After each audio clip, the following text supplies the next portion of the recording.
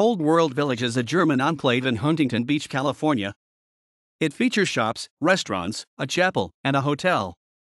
Many of the proprietors of its businesses live above their establishments. This live work arrangement is unusual for Orange County. About 40 families live in the village. When it opened in 1978, the proprietors were primarily from Germany and Austria, but the village has become more ethnically diverse over time. In 1952, Joseph Bischoff emigrated from Germany to the United States.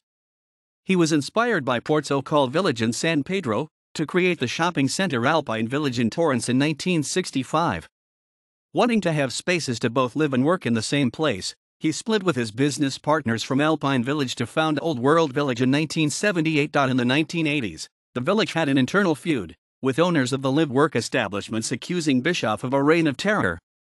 An initial $2.1 million judgment in favor of the merchants was later reduced to $1.25 million, equivalent to $2,916,000 in 2019.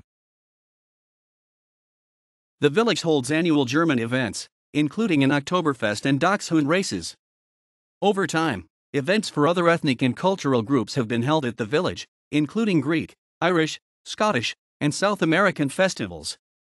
The village also hosts weddings and quinceañeras. Old World Village was parodied in the television show Arrested Development as the English enclave Wee Britain. Equals equals references equals equals.